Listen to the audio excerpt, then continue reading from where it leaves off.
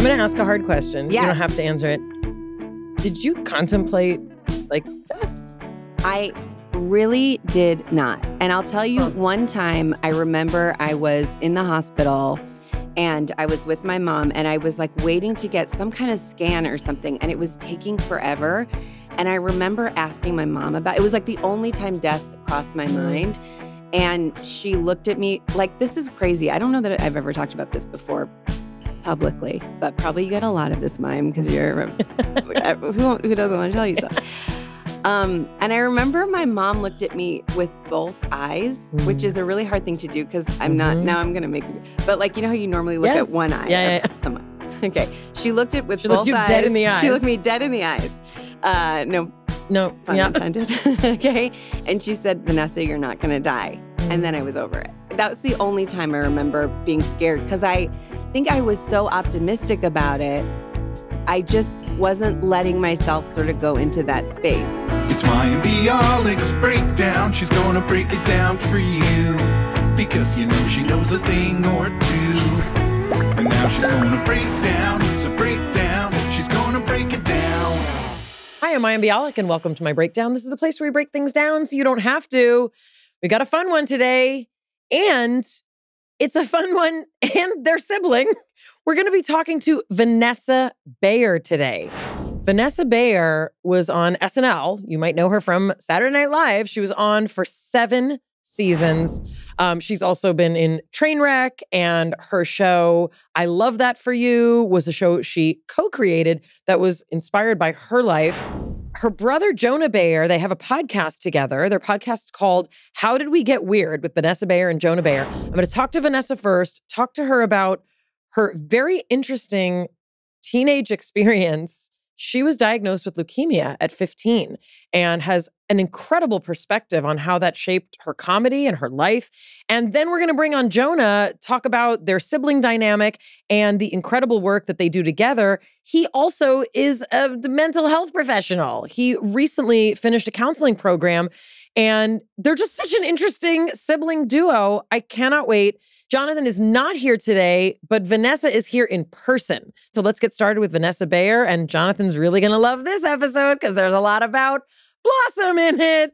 Let's start with Vanessa Bayer. Welcome to the breakdown. Break it down. Wow, I am so excited to be here, Mayim. Is your teenage self excited? Yeah, and my adult self. Um, it's very, very nice to have you here. Um, I'm a fan of yours in many ways, and not just because people are like, the two of you kind of look alike. And I was like, Jews, we're just Jews. We're not all related, but kind of we are. in some way. Um, let's just get it out of the way. yes, Because if yes, Jonathan were here, this would be the first Yes. and only thing he'd want me to talk about. So you are six years younger than me, which means you were kind of prime age to watch Blossom, and apparently you did. I was obsessed with Blossom. Um, when my brother joins later, we'll talk about how we did, um, or we can talk about it now. We'll, we did um, a whole show uh, honoring Blossom. I used to watch it so much as a kid, and then as a teenager, it was on it was be like reruns in like the early evening, and I Uh-huh. would watch everything again. Remember when you went to Paris? I do remember can that. you even believe it? And I was obsessed with it. And then when I moved to Chicago as a young adult doing improv and that stuff, I would watch reruns late at night and I started following all the cast and oh everything. and that's sort of how I became friends with Jenna Von Oy because she followed me back. I don't know if this is how we met, okay? I watched the finale of Blossom and I had remembered it being different. And Huh. so I messaged her No, you didn't. on yes, I messaged her on Instagram. I direct messaged her. And I said, um, now I wish I had looked it up because when she came on my podcast, I looked up the exact conversation, but I said something to the effect of, I watched the finale. It was not what I remember. What I remember is that it was sort of like a breaking the fourth wall thing Mm. where you realize it's a show, it's a TV show, and you kind of call it out as being a TV show and it's uh, whatever. And then she wrote me back. Now I'm giving you more specific details oh, than I, I, want would it all. Okay. She wrote me back and she said, I think you're not thinking of the finale. I think you're thinking of an episode that came a few episodes earlier called Episode, Oh. where I where Blossom has a dream that six is Blossom. Oh, yes. And that's what I think it was. And waking up from the dream and stuff. You know, not to question Jenna Von Oy's expertise, because that Yes. woman's got a mind like a steel trap. But i- is it not true that in our final episode we did kind of? I could have sworn, but I really. I don't think you do. here's unless the story. I was stone cold sober for all those years, and I remember very little Okay. of anything that happened. Jenna, I mean, she is our best Yes. kind of biographer.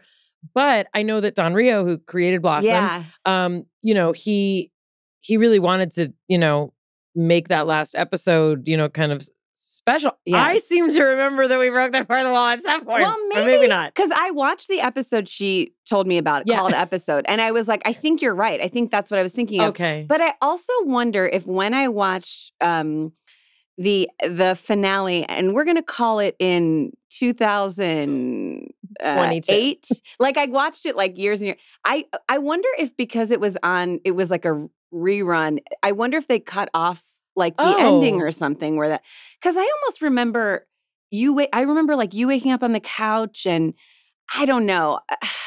I I but anyways, Jenna Von Oy r- responded to me.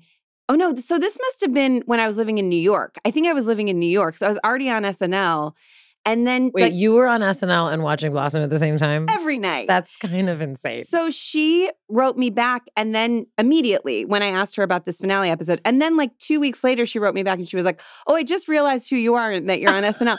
So I, she, she, it wasn't because of like who I was. It was just because I was a fan and I needed this information about the finale. 100%.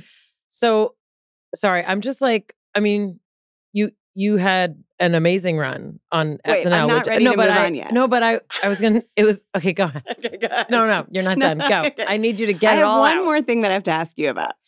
Okay. Your clothes on that show were Yes. so incredible. How much say like did you I just the level I keep thinking about I'm sorry, I'll stop freaking It's out. fine. I keep thinking about like the remember the very 90s thing of like shirts that were like striped everywhere and were sort of um ribbed. yeah. You had a lot of the you were pulling that off. Yeah. Like all of your outfits were so cool. How uh, what was that process like? Okay, and I know that this is your podcast. No, it's fine. This is literally, I mean, it's as if Jonathan's here. Like, is there a bug in your ear? And Jonathan's like, ask her about this.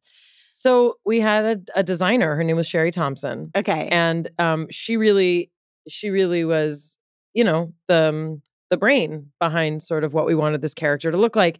And Sherry was just like one of these awesome designers who just like always looked amazing. You know, she wore like these like big, like cool, like, you know, artsy tops and like leggings before people were wearing leggings, you Right. know, like all the time. And she always had just like cool shoes and she had a lot of um clothing from her travels Yeah. around the world. And so this was something that like she felt was really important as part of Blossom's style um that there was fabrics and styles from kind of everywhere. And, you know, sometimes we did like more plain stuff. And like as I got older and was more of like a surly teenager in real life, I was like, oh my gosh, like does every outfit have to be like So reinventing crazy. the wheel? Um, so you know, we definitely did like crop tops with like pants with overalls, like, you know, things I like mean, that. Um to a T. but but yeah, but in the in the early years especially, you know, it was seen as very unusual. And and look, I mean, you were a little bit younger than me, but growing up, like girls like us, we didn't go on television. right, You know, like nobody looked like like like the Jewish girl next door, or like the girl you know from summer camp. Except like you looked so cool. That's- well, I mean, I think like that remains to be uh that's up for debate. But I think the notion that like I wasn't sort of like this like classic teenage leading lady, like right, right. I right, think right. we wanted the clothing to reflect yeah. like this is a quirky kind of girl. And I was a very eclectic dresser, you know, as well. My parents were as well. Okay. Well, that's really interesting. And I, I loved your clothes. And I also just want to say before I forget, and then we can move on. You are just so funny on that show. And everybody, like to me, it's the show that when people are like, what show is still like still if I watch an episode of Blossom, I am laughing out loud. It is such a funny show. And everyone's timing is so good. Like It was it's it was a very well written show. But the way that you like kind of like zing, like it just, it really is incredible how funny you are on that show. Like you're That's a very, kid very and your sweet. timing is like, okay, so here's a question. okay. Did that impact your SNL I run? guess that's why I went into probably, it probably did. I just can't imagine that you were, you know, one of the one of the longest running females, you know, on yeah. like literally the show that comedians want to be on. I was once at an NBC party because Blossom was an NBC show, you know, back in the day. And so I once got to go, um, once got to go to an NBC party. Um, I think it was before I had kids.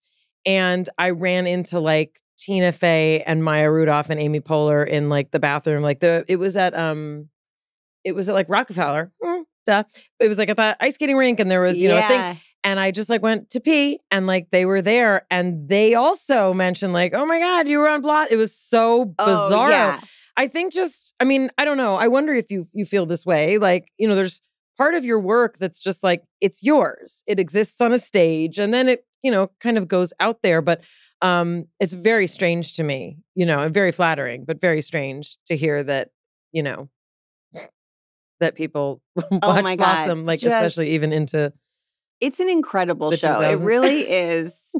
It's incredible thank you. that you're so young and you're just like it's great. it's really funny. So let's talk a little bit about you. Okay, I'll maybe. Um, um, so you grew up in Ohio, Cleveland, yes. outside of Cleveland. Suburb of Cleveland where everyone's from. Okay, got, got it. Um, and were your parents also from Cleveland? Oh yes. just everybody's, Everybody's Midwest. from yes, everybody from the Midwest. Okay. um, from the yeah, we were from the like Northeast Ohio, the eastern suburbs of Cleveland. Okay, yeah. got it. And um, you you have a brother. We're going to talk to him soon. Yes. Um, and it sounds like both of your parents kind of were f- naturally funny. I mean, not industry funny. Yes, correct. our dad was like a real, um, the real ham amongst his friends. Like he Mhm. was the one who was always making jokes and doing impressions for his friends. And I think our mom was more of a, um, more of a had more of a light, lighter touch with her comedy, but Mhm. always just naturally very funny. Mhm. Yeah, But neither of them were entertainers. no, or not at all. Our mom worked at the JCC. She was head of It's early childhood, community the center, Jewish Community Center, um, and still has a, a lifelong pass to go. Of course. unfortunately, does not extend to us, which I'm a little pissed about. Tragic. Um, but and our dad uh, had a had a packaging company, so like they didn't work in in that stuff at all, but they were um, supportive of us doing kind of creative things. So that was Mhm. very nice. Mayim Bialik's Breakdown is supported by Hatch. Taking care of ourselves is so important. Healthy eating and exercise are often a focus, but something just as important that we talk about a lot here that many people overlook is making sure to get quality rest. With the Hatch Restore, take control of your sleep habits and wake up feeling your absolute best. The Hatch Restore is your bedside sleep guide, your ally in rest. The innovative all in one dream machine is a sophisticated sound machine, light, and alarm clock beautifully designed for your bedside table. Good rest allows you to be the best version of yourself, which is why the Hatch Restore was engineered to help you form healthy sleep habits for life.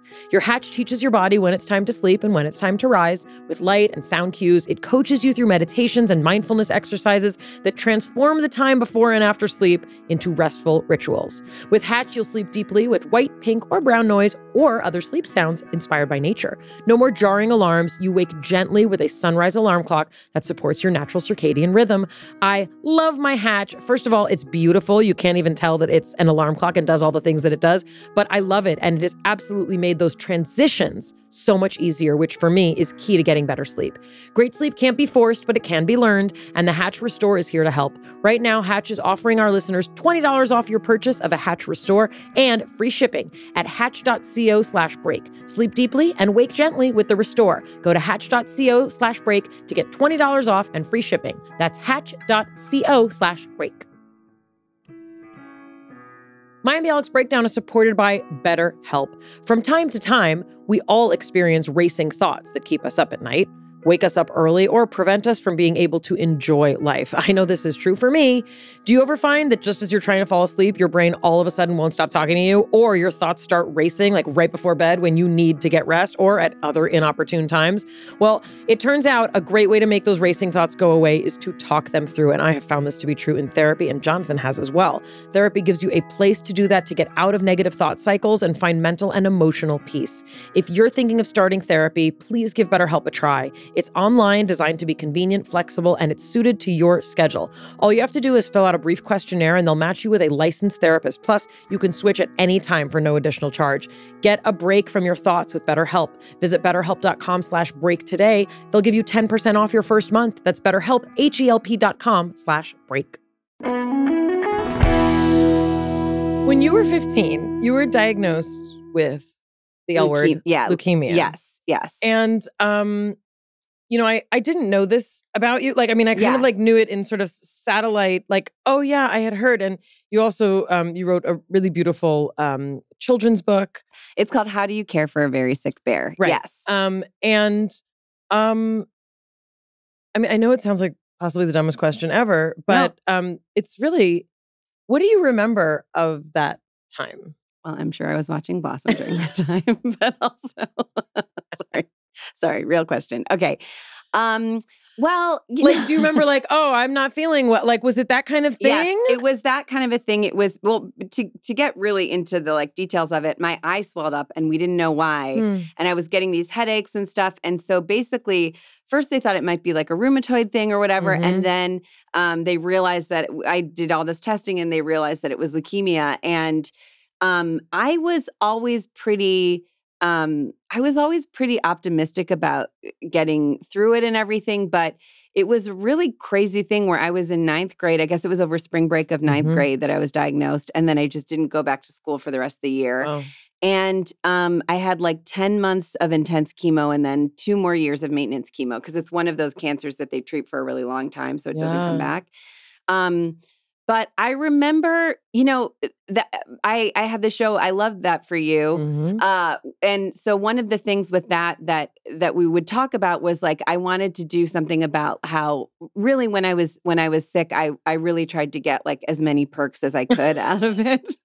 And so like as someone who already liked attention, it was, you know, and I'm and I, you know, I think you remember sometimes like the more positive things, or at least I do. Uh, but so I just remember um you know it was hard i hated missing school especially at that age like you Of just course, want to be so part social of things and, and, yeah. i hated that and like i went back to school in 10th grade but i missed something like 45 days or something like that but um also people really were like i was very special for my grade and i got to not do gym class and i got to like do all these kind of like things and i really um i really sort of was like i'm gonna i'm gonna really make the most of this so i Mm. feel like as much as you know it's something it was a you know a scary and you know Mhm. hard thing i also and i also think that it really helped my friends a lot for me to joke about it like Mhm. it sort of put them at ease so i had all these jokes which I don't know how funny they are in retrospect, but I remember like an example of a joke I used a lot was like, you think you're so cool because your hair is real,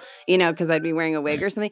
And, but I was like, it put them at ease and reminded them that I was still the same person. Did you, I mean, not to get deeply Yeah. pathological about it, did you feel like you had to make other people feel okay about it? I think that was part of it for sure. And I think that's such a big thing with people who Yeah. are going through it. Like, you just, it's, I don't know. It's like so many of us have that thing of like wanting to like make sure everybody else is like Mhm. feels okay about things but i um i just i it was helpful for me to laugh about it i think too and also i just do think that sometimes and this is sort of some of the stuff in my children's book is like sometimes when someone gets sick or is going through some kind of trauma like people think that they're different now or something or they don't have Mm. the same personality Right. and they're like they have a whole new like there's a whole new person in there and it's not it's just that they're dealing with this thing so i think it kind of i wanted to remind my friends that like i still like joking about the same stupid things i still wanted to know every single bit of gossip that was going on in my Mhm. grade like i didn't i wasn't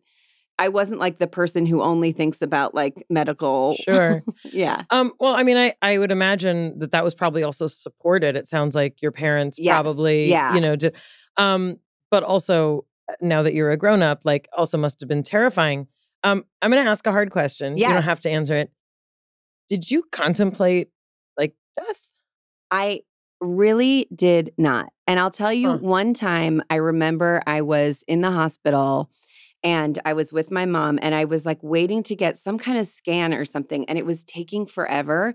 And I remember asking my mom about it was like the only time death crossed my Mm. mind.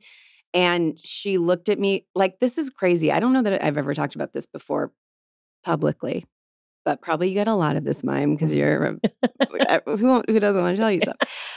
Um, and I remember my mom looked at me with both eyes, which Mm. is a really hard thing to do because I'm not Mhm. now I'm gonna make you but like you know how you normally look Yes. at one eye Yeah, yeah, someone. Okay. She looked at with She both looked you eyes. dead in the eyes. She looked me dead in the eyes. Uh no No. pun yeah. intended. okay. And she said, Vanessa, you're not gonna die. And then I Mm. was over it. That was the only time I remember being scared because I think I was so optimistic about it that I just wasn't letting myself sort of go into that space. I mean, I think I had other, there were definitely other things that I was worried about, but in terms Mhm. of death, I really, that really wasn't on my like Mm. radar, really. And did, you got to do a make a wish. Okay. I, I mean, sure there's like did. like there's several skits that I want to write about Yes. the Make a Wish notion, and that's a fantastic organization. I've actually had the honor of participating in Yes. in many wishes. Like you know, we would have oh my uh, gosh, people come people to- come to, Blossom. no, not uh, actually. Uh, we might have.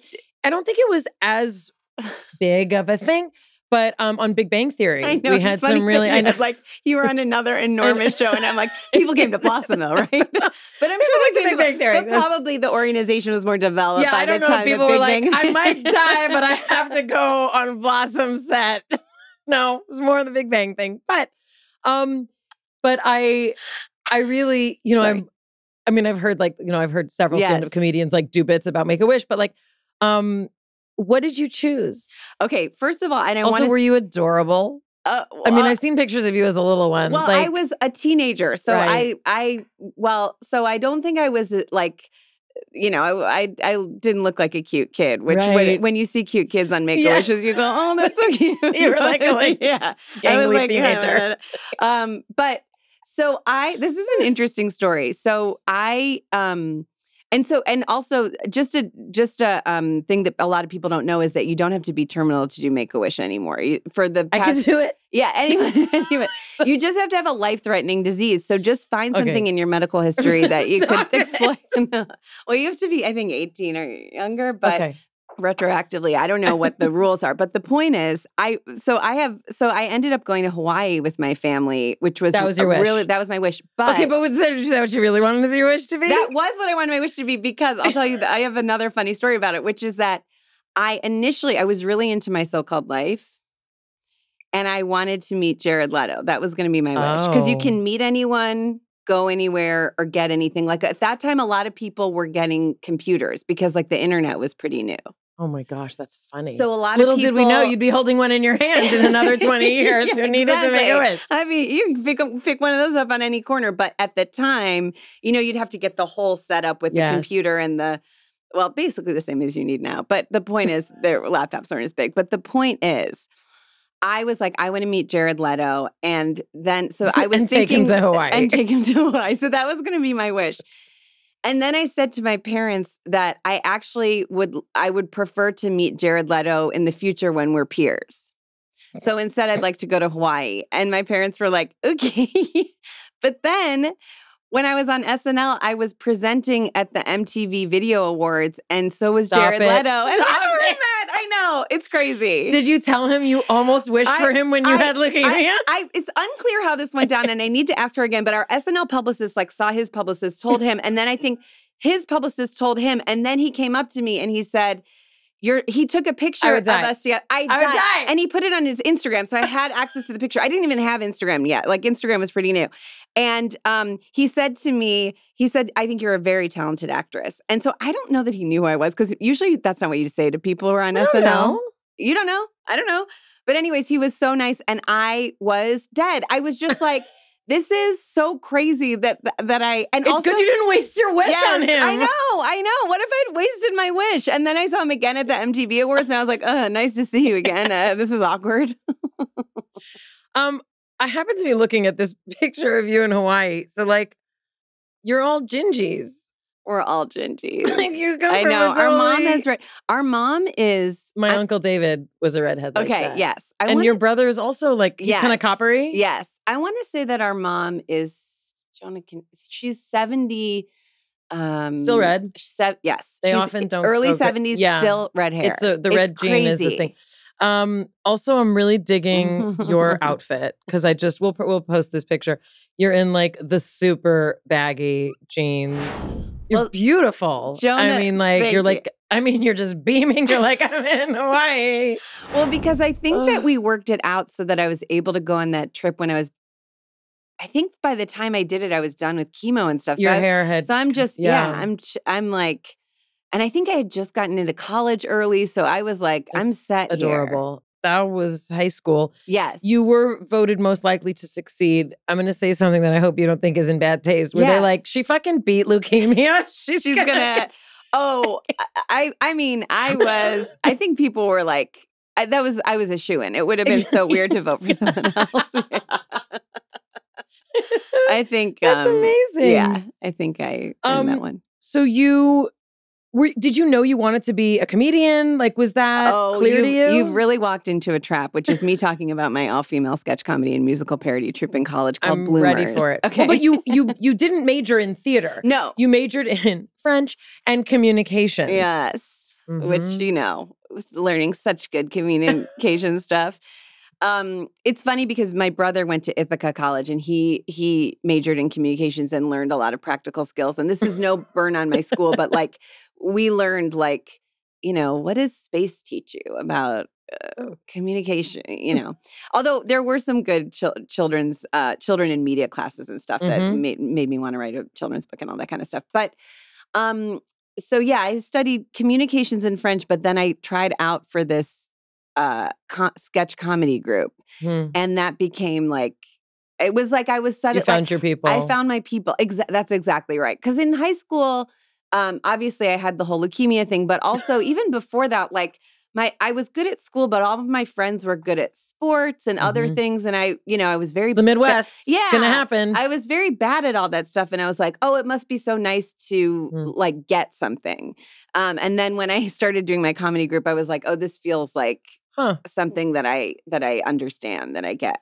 And you started uh, for that kind of sketch comedy. You're you're not just performing. You're you're writing Mm-hmm. We're as writing, well. exactly. And you're like Yeah. developing characters and yes, stuff. Yes. Um, so you know, not to like and we're doing song parody too. I just don't want you to leave that out. as well. Yeah. Okay, good. Song. So tell us some One of of the, coolest forms of uh, I, well, comedy. I think I'm a Weird Al fan. So Oh, yeah. like, oh, this is crazy. oh yeah, no, you're in a we had Weird safe Al on place. our podcast, and we realized that something that I had written.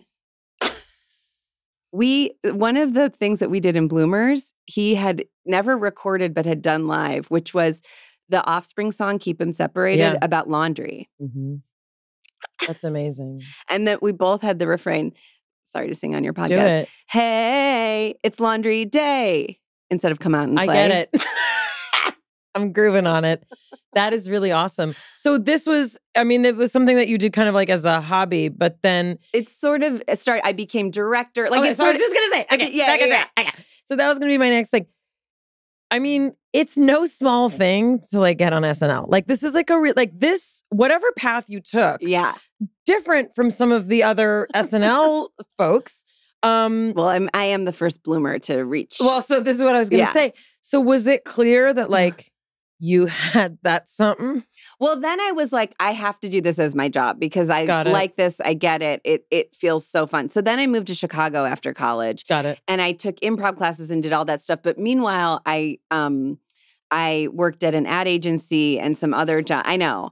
But That communications degree. that communications that communi- I will say when you graduate from college everyone's looking for someone who is a communications major and I go why we don't know anything but it's like But you know how to say that you don't know yeah, anything. I was it's like yeah so I worked at yeah production company and then this ad agency and um but at night and on the weekends I would do improv and sketch and that kind of stuff and I always knew that I wanted to work like I would love to be on TV and do something like Blossom. And then um and then a year before I got on SNL, I got very focused on SNL and I came up with like a five minutes of Right, characters you have to, like, come up And with- Yeah, yeah. And then because they used to come to SNL used to come to Chicago like every summer. Right. So Chicago for was- people who who don't know, like that is sort of like like it was like Toronto, Chicago kind of groundlings in Los Angeles. Yes, Those yeah. are kind of like the hubs of Yes. you know of comedy and some of some of your favorite comedians come out of Chicago and um Second City and like that Yeah. whole you Tina. know I mean, Tina yeah, was yeah, yeah, that's that. Um, so, um, wow. So you, um, you ended up you were on SNL for seven, years. Yeah, yeah. Do you? And I'm not asking this for kind of gossipy reasons, but you know, kind of we've we've had other SNL alums here. Okay. Um, you know, did you was your experience like? Oh my gosh, this is like all these amazing creative people, but also it's crazy and hectic, and it's like kind of the craziest ride of your life. yes, it was. It's Is like that what everybody who's I on think SNL everybody. says? It's like okay. such high highs and such low lows because Right. it's like you can have an amazing show, but also your show going into the dress rehearsal can be amazing, and then everything you're in gets cut, and then you do the live show and you're not in the show, or or like stuff. You know, it just it's a Yeah. hard we It's sort of like there's three times during the week when you have the experience of like a high school play where there's kind of like a list up Yeah. and you see if your stuff got cut. Yeah. You know, so it's like whether your sketches get in and then whether your stuff makes it past dress rehearsal, whether your stuff gets cut during the live show. It's like right. there's It's just so many times. Yeah. I'm going to say something also that Yeah. I'd never thought I'd say. You seem really nice and easygoing. yeah. Yeah. But also to get to this level, like there's also an aspect of like competitiveness. I'm not saying like, did you have a bitch moment? That's not what I'm saying.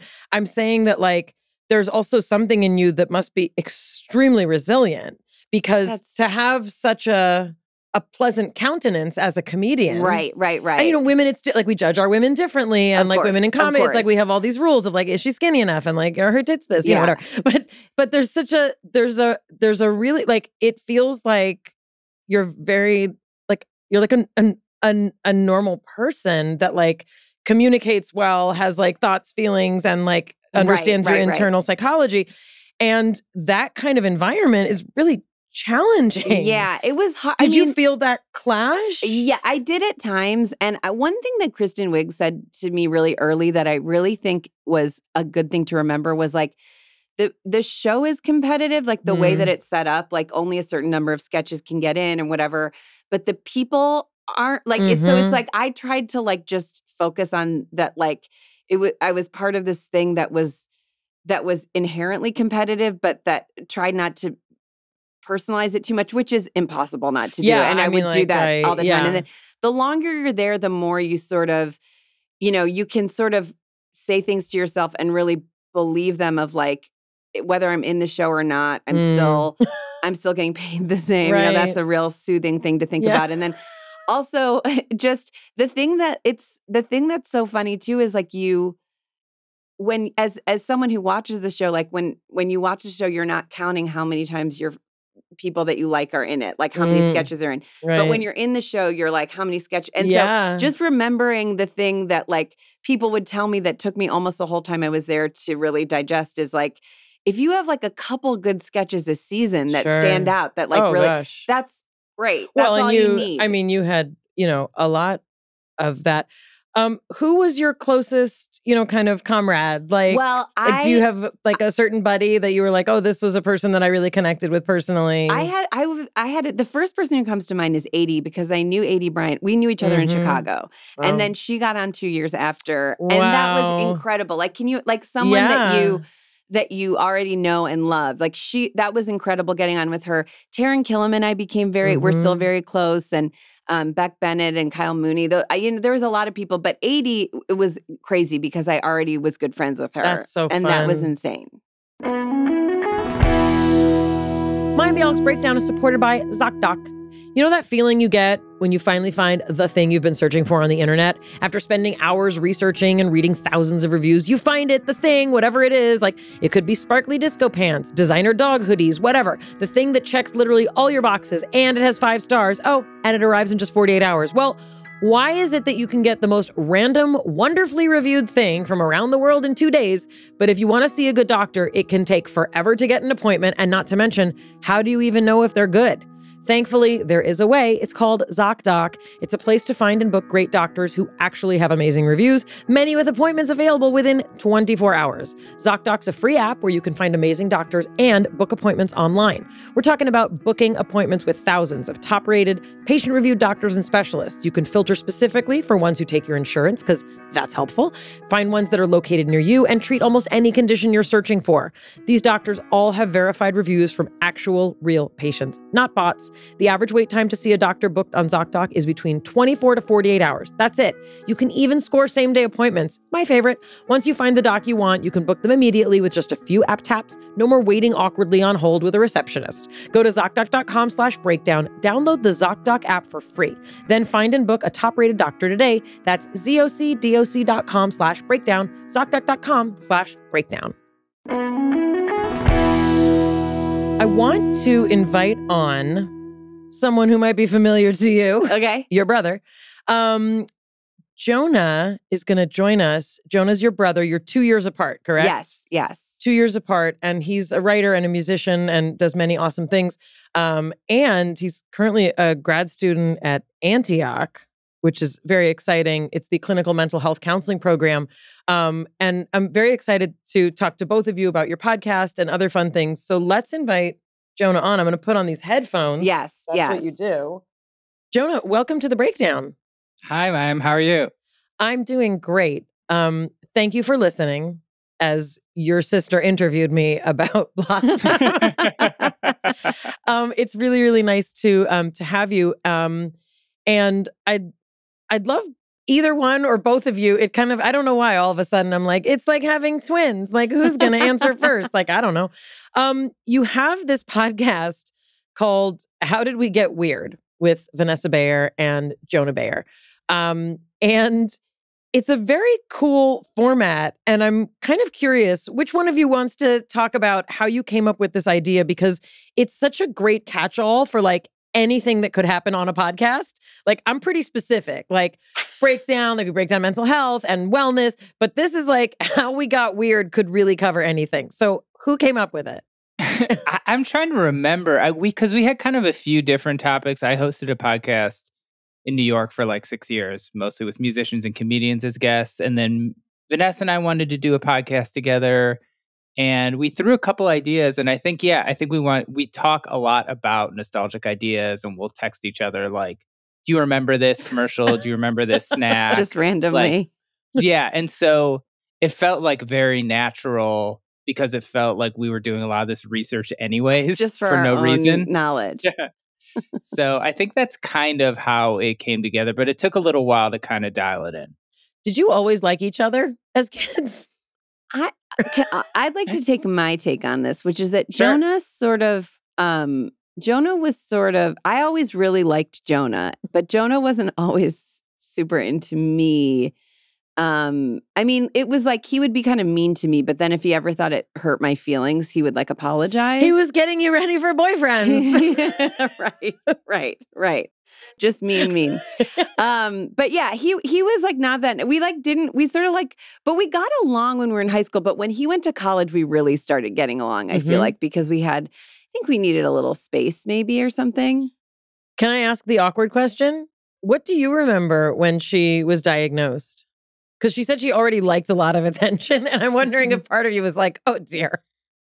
um yeah i don't know you know it was it was i feel like it was kind of scary. I think it's one of those things where it was like kind of scary but i was also i'm two years older so i was still like a teenager. I was still in high school. Mm. so i remember yeah just being kind of scared. I remember i would go with with vanessa my mom or my dad to the hospital sometimes and uh yeah it was just kind of a weird time but i feel like i had a lot of freedom Mm. um, because my parents were obviously very preoccupied with Vanessa. So I felt like I kind of, you know, was kind of doing my own thing and didn't have like a ton of supervision.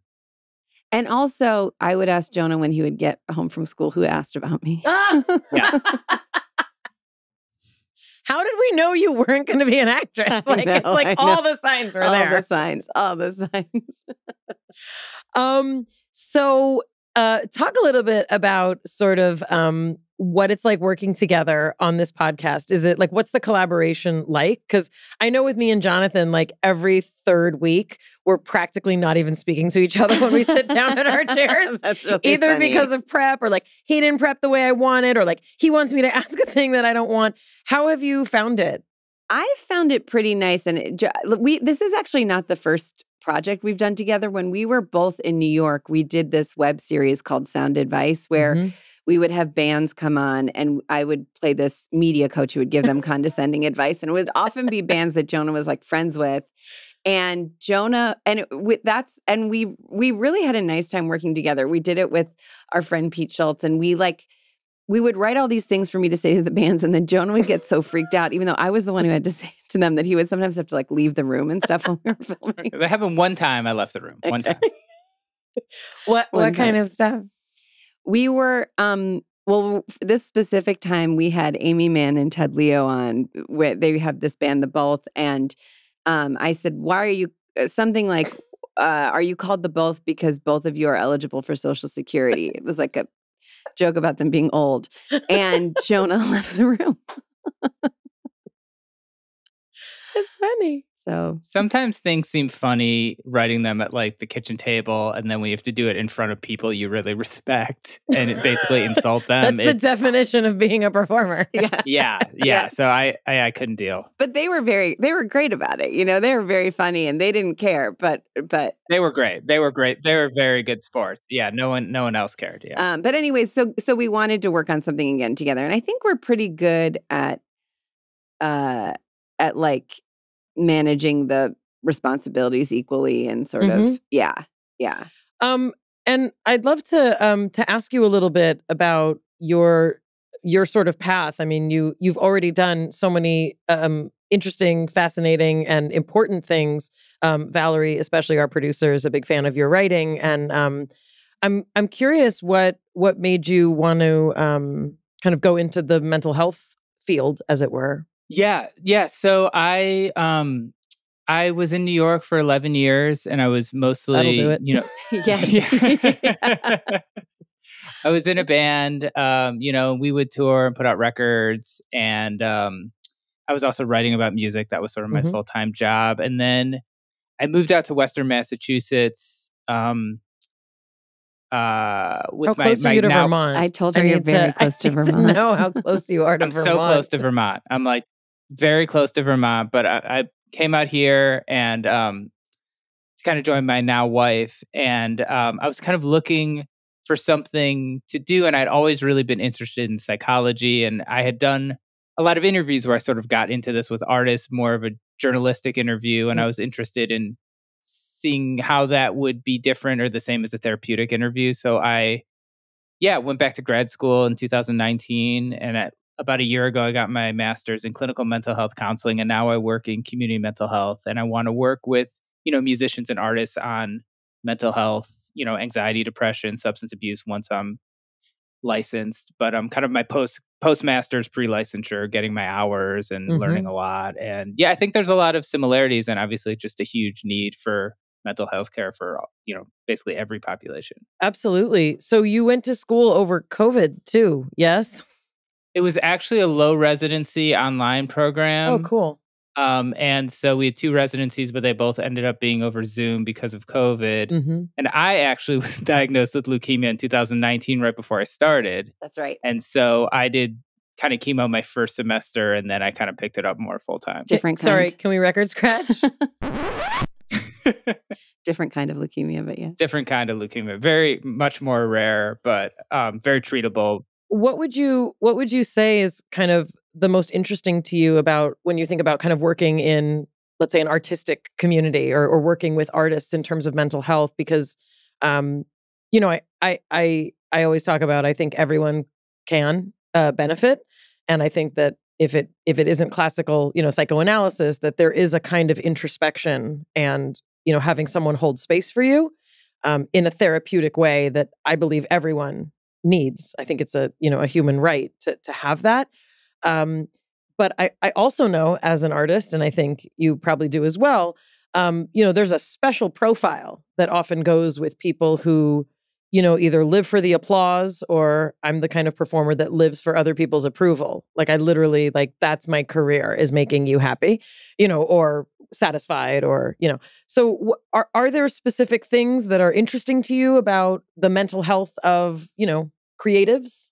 Yeah, absolutely. I mean, I think, you know, I think you, you know, and I've listened to you speak on this, like I've listened to you on Dan Harris's podcast and, um, you know, have some really com- interesting conversations about this type of stuff. And yeah, I think it's a really kind of unique lifestyle. I think it kind of lends itself to, you know, if you're performative, I think that can be a really positive thing, but it can, you know, it can also, you know, open up the door for a lot of other kind of issues, you know, involving ego, involving communications. I feel like bands can be incredibly dysfunctional because no one Mm. really teaches each other how to communicate or express things, and they can really build up and you have people depending on you and uh, you know the lifestyle of, of touring can be kind of inherently kind of dysfunctional and lead to sort of an arrested development um you know i feel like i've interviewed artists who can't don't know how to like set up their cable or something because like people Mhm. just do stuff for them their whole lives and i think then you hit 40 or something and it can be really difficult to navigate that stuff and obviously you know depression anxiety substance abuse Mhm. um so i think you know it's not you know these are things that everyone kind of deals with but i do think you know sort of the pressures and the lifestyle especially of touring artists is kind of a unique kind of lifestyle or setup and i think someone who kind of comes from that world can maybe understand it a little more um yeah possibly but you know i, I don't know uh does that does that answer sort of Yeah, no, I think it's it's actually I kind of feel like you're the you're the band whisperer. Um and and no, and it's kind of it's an interesting path. I mean, you both have very interesting ways that you've come about sort of, you know, your the ways that you serve, really, the ways that you entertain and and you know, kind of serve the community, but yeah, I think it's especially interesting that you kind of came at it, you know, from really an initially like journalistic and, you know, intellectual perspective and then kind of had an open enough heart you know to see this need. Um you know i'm also particularly interested in um you know kind of like sexual dynamics of mental health that come especially in the music world because everything is so topsy turvy and you know there's a real glamorization of you know in many cases a, a, a treatment of of women that's you know really can be really problematic but i also feel like those are relationships, you know, meaning we're all in relation to each other and that stuff gets so magnified. So I think that's really fascinating. Yeah, and I I think it's also like a it's interesting for me too. Like I would you know at this point in my life, I'm 43. I'd rather talk about you know uh internal family systems or something than Mhm. like wh- what are your influences on your new record? I mean that stuff. There's a place for it, but after doing that for 20 My years, influences for my new record is internal family systems. Okay, so how amazing, about that, amazing, amazing. So yeah, so I think there's a place for all stuff. But as I've gotten older, I was always kind of reading this stuff, and I just find all the modalities and just learning about it just to be. Yeah, I'm sure you do too. Like so, kind of interesting and kind Mm-hmm. of you learn so much about yourself in the process. Absolutely. I mean, you know, people who who choose to to be of service in the mental health um, world in particular, um, you know, that's being a healer. But often, you, you know, you're healing yourself in the process, you know, of healing. And I actually have friends um, at Antioch, and so it's a really a really phenomenal school. Um, curious about both of your kind of experience with mental health personally. Do you both do transcendental meditation? Is that something you both have partaken in? Yes, and I certainly I do I do TM 20 minutes twice a day. For how long have you had that practice? Um, Jonah actually is the person who introduced me to it, which is why I said yes and no because I don't know that he does it as regularly now. I don't, I don't, I don't do it as regularly. Vanessa, But how long have you been doing it that? since? Because Jonah told me about it, and then when I was Is shooting, that why you're so nice? maybe, maybe it's helped me a lot. Uh, when I was doing Trainwreck with Amy Schumer, I noticed that she would meditate every lunch break that we had in her Oh. trailer, and I was like, okay, Jonah's doing it, Amy's doing it, I got to do it. Because also she was so she was managing like the whole movie while I mean Judd was directing it, but she was like always like checking in with him, and she was always like taking care of everything while still being calm. And I thought that Oh. seems really hard. Um, so then I so then I, so that was probably nine, 90. That was probably, it's probably been almost 10 years. Wow. So for people who who may not know, can you explain what what TM is? Yeah. And Jonah, J- Jonah, do you do it at all ever? Do you have any mental health practice at all? I? I, I, I, do like I've been like a long time Ashtanga yoga prac- practitioner, and He's I do. so good at yoga. If you do a yoga class with Jonah, the teacher's like, "Oh, I just want to talk to Jonah," and you're like, "I'm in this class too." but but I do I do some mindfulness stuff and, and meditation, but um but no, I'm not nearly as as strict, strict with the TM. But yeah, Vanessa. Um, yeah, so Amy, yeah, but Vanessa, you're yeah, I think you're you really are. Pretty, like you, you'll be Oh hanging my- out with Vanessa, and she'll be like, "Okay, I have to do this now okay, for so, twenty te- so minutes." for, for people I do who it don't know, Yeah, so every morning and sometime in the afternoon, every afternoon, I do it for 20 minutes. And basically, you get a mantra which doesn't really mean anything. It's just to focus you. And it's a word, it's a phrase, it's a paragraph. you're not allowed to say No, but it's like a it's a thing that you repeat. yes. Okay. And it's short, it's pretty short. So I would say it's closer to a word. Okay. And, um, I, I, I- and by the way, I didn't think that you were trying to get it out of me. I want to be clear. Oh, I was. okay, so who gives you this word? so whoever trains you, okay, So, like a teacher. Yes. So my teacher, who's one of the one of the co-founders of the David Lynch Foundation, Bob Roth, who's an amazing, amazing person who also trained Jonah, I think, right? No, he didn't train me, but we uh we kind of worked together. Okay. Um, he kind of pre-trained me. Okay, got it, got it. Can't with this guy. um, but anyways, anyways, so so um, he he trained me for like th- I, three or f- I would think it's four days, and basically he's just teaching you. It's it's basically just getting you to um, you know have twenty minutes where you're conscious, but you're also sort of um, you're also sort of restful and I think that um and you just say the word. and you just say it, and sometimes you forget to say it, and then you remind yourself. The thing that I like about TM, and maybe the reason that I've been able to keep doing it, is I'm very non judgmental of myself with it. So it's like, even if I start That's just. part of the practice. Yes, and you don't have to clear your mind, which to me is the most stressful thing about meditation is clearing your mind because you're like, "Uh, okay, I got. Then you're just stressing out the whole time about like, Right. oh, I had a thought. Oh no, you know. Right. So to so, so for me, it's just like sometimes I'm able to just like focus on the mantra or whatever. Sometimes I start thinking of other things and, and then I if I can remember, I'll stop. Sometimes I kind of I don't know if this is part of TM. I don't think you're supposed to do this, but sometimes if I'm like trying to figure something out, I'll like wait until a few minutes into my TM and then I'll be able to think through Oh. it with like zero emotion kind of That's where I can sort of so um so I sort of like take it all. I think it all counts. Sometimes, especially if I do it like in the later afternoon, I'll fall asleep. You know, if I know I have something, I'll set an alarm. But and in the morning when I do it, I always have to set an alarm in case I fall asleep because I um, Are you laying down?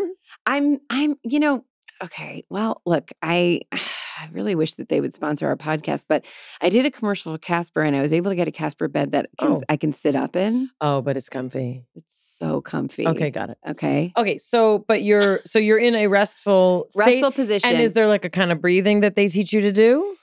No, but you're sort of supposed to. I usually do my mantra with my breathing. I sort of focus on, yeah. And it's just, you're just sort of supposed to um, focus on the mantra and just be calm and sort of.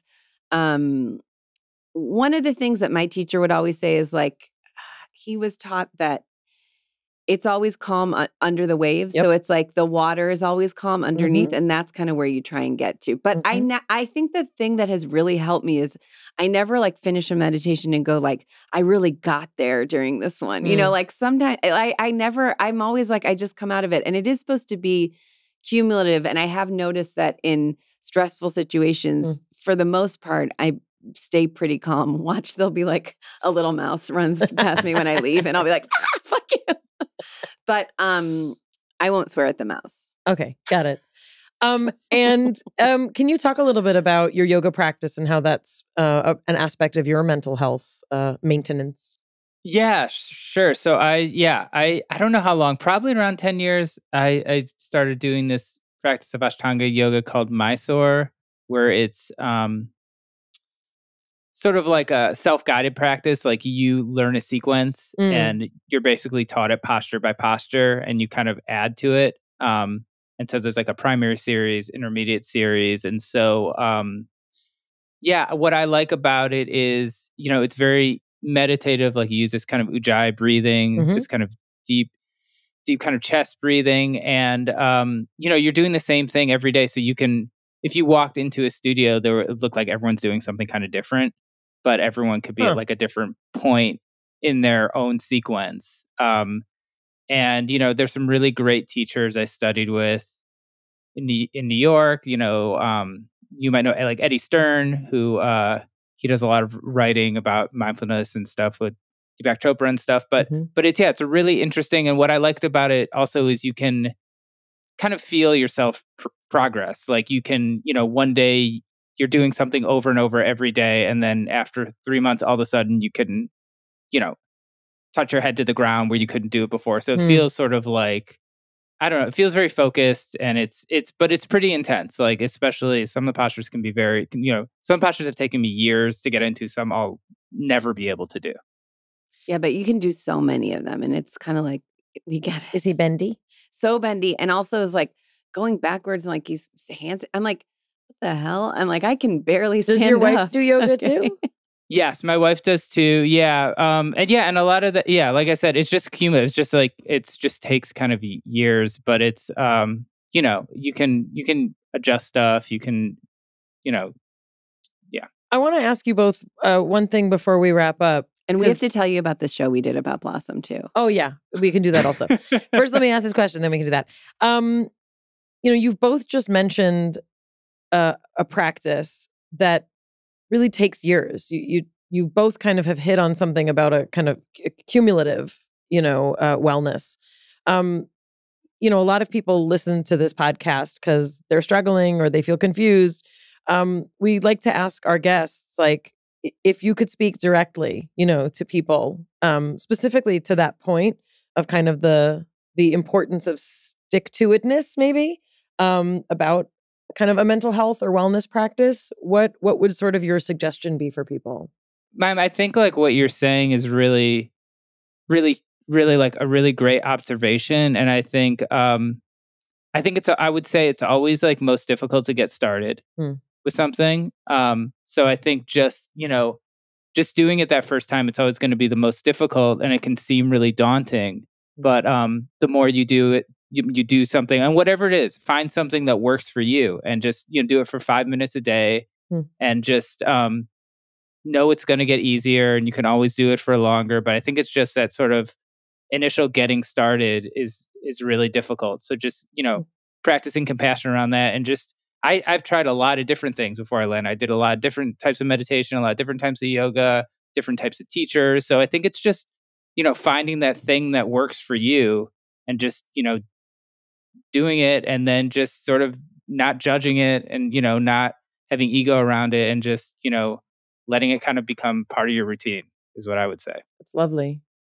Vanessa, your turn. Yeah, I would say I agree with everything Jonah said. I also think I think the thing that is so nice about whatever practice you find that works for you is that you're resting but you're conscious. I Mm. think that's the thing that really gives you it's it, the thing that like about sleep is it's so great but you're not conscious for it so you don't get to like absolutely bask in it. You know what I mean? Whereas like if you can find some meditation or yoga or something that allows you to sort of quiet your mind and and just have that time for yourself um that's restful, that's going to absolutely rock.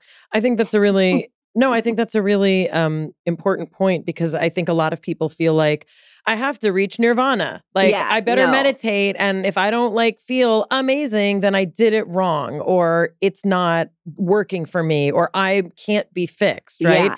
and that notion that um there's I I think my my yoga teacher, you know, he talks about that place of kind of like like tension and ease.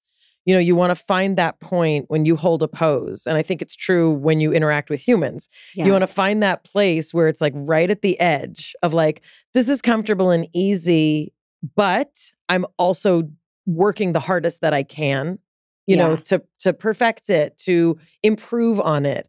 Um, so I, I really like that that notion.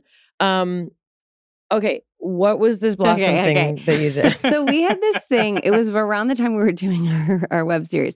We had this thing called series finale, but we only did it once.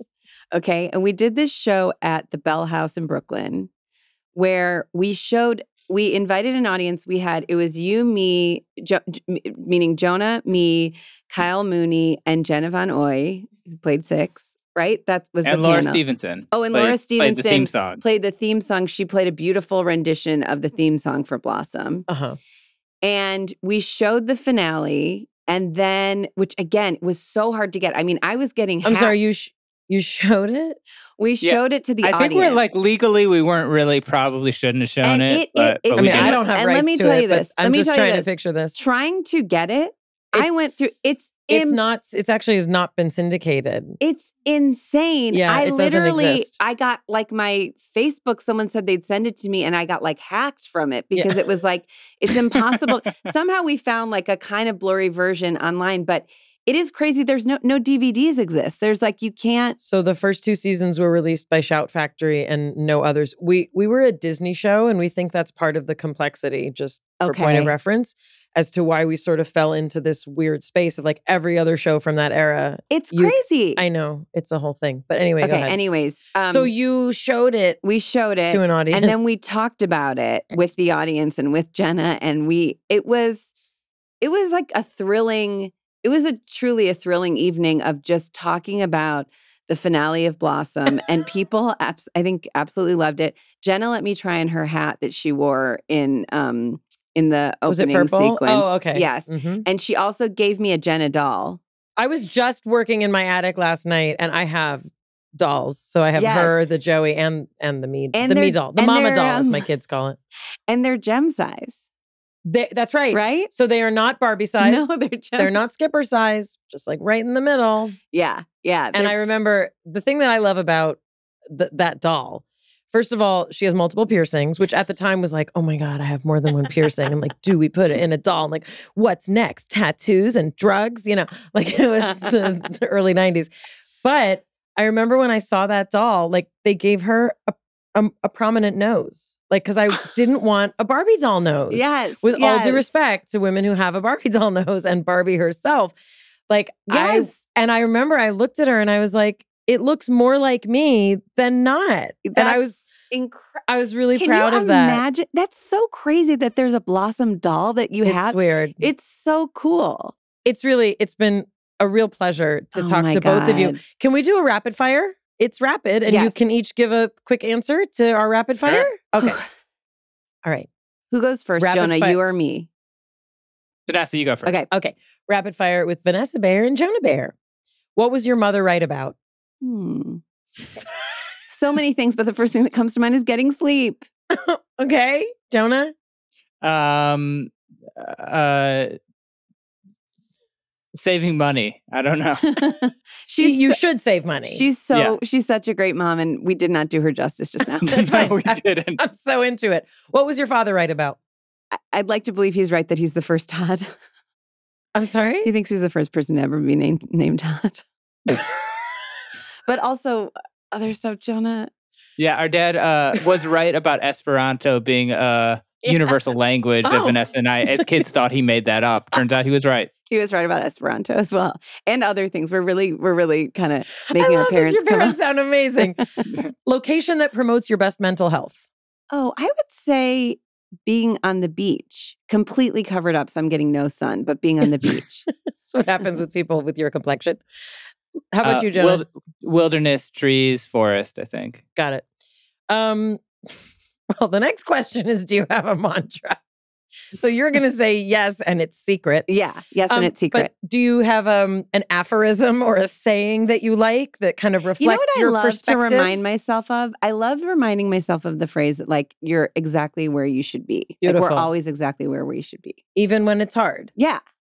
Uh, yeah, I mean anything Eckhart Tolle says, pretty much. But Oh. also, um, also, I don't mind what happens. I think that's a Krishnamurti quote. That's a really good one. Oh, I like that. I heard guess that. Um, who's been your best spiritual teacher? I think in a lot of ways our mom. So I guess I'm coming Hmm. back to around and You're giving redeeming her. yeah.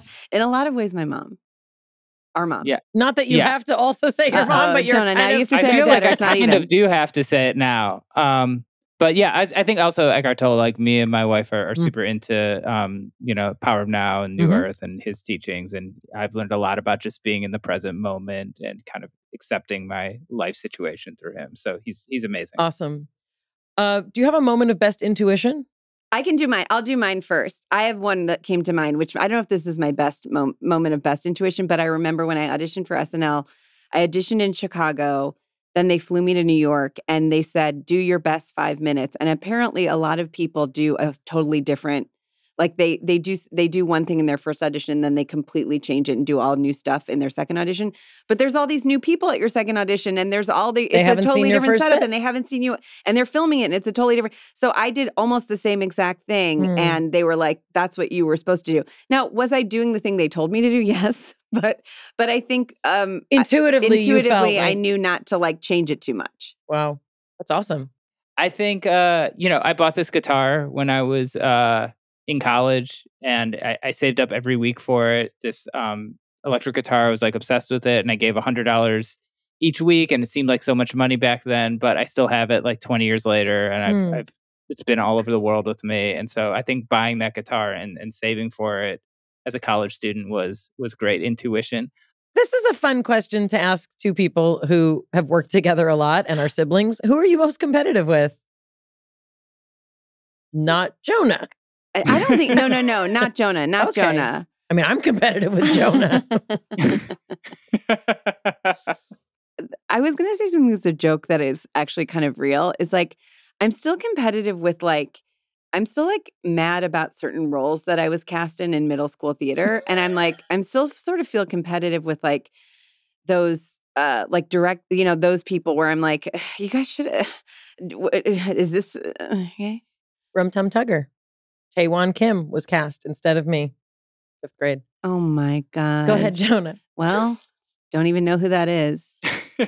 I know who you are. I feel so. like I- you know. I do feel like I can just be competitive. I- Can you be competitive with yourself? I don't know. It's Maybe the I that's most like, common answer. that was going to be my it's the most common answer, and there's nothing Yeah. wrong with that. Yeah. it feels like kind of a cop out a little bit, but I do feel like we can Well, then really, yeah, be That's okay. competitive with ourselves. I'm most competitive with Jonathan, who's not here today. So okay. I'm winning today. Last question. What do you know to be true? I really do think we're all exactly where we should be.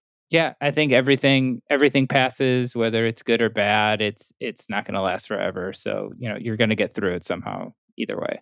Beautiful. Please check out How Did We Get Weird with Vanessa Bayer and Jonah Bayer wherever you listen to podcasts. Is that how Wherever. you do it? That's what I'd say. Anything else we can direct people to to learn more about you?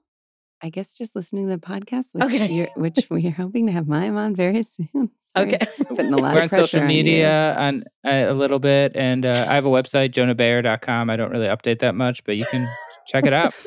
great, great. That's a great that's a great plug. Um, Maybe I'll update it now. And if you have not seen I Love That for You, you also won a Gracie Award for that. I did. Yes. Thank you so very much. Um, all right. Well, thank you. From uh, from our breakdown to the one we hope you never have. We'll see you next time. Ooh, what a good sign off. It's Mayim Bialik's breakdown. She's gonna break it down for you. She's got a neuroscience PhD or two. One fiction, one and now she's gonna break down